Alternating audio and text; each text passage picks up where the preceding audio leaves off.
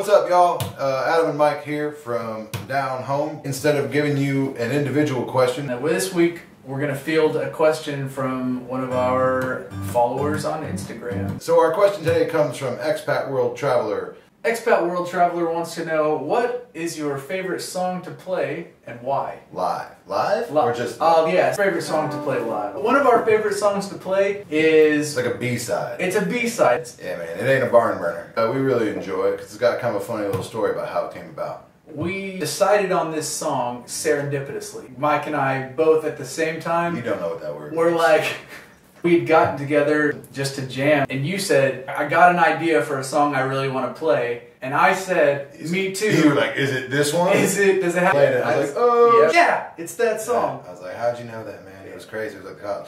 We later realized we both heard it on the same podcast that we listened to, so it's really not like that magical and more like, well, that figures. But it was kind of cool. Yeah. The, mo- the moment. We don't care if it's magical to you. It's Yeah. magical to us. Just like this song, man. I don't care if you like it. I like it. You like it. yes. Yeah, man. So uh, here's Midnight Rider.